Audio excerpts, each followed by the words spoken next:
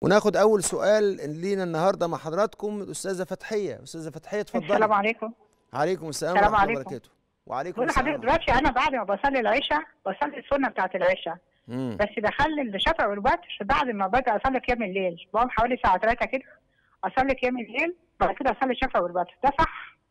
صحيح ده الأفضل لأن كان كان آخر صلاة رسول الله صلى الله عليه وسلم كانت وترا. فلذلك انت اللي عملتيه ده ان انت بعد ما صليتي صلاة القيام صليتي الوتر ده الأفضل ودوت اللي عليه سنة رسول الله صلى الله عليه وسلم لأنه قال لتكن آخر آخر صلاتك من الليل وترا.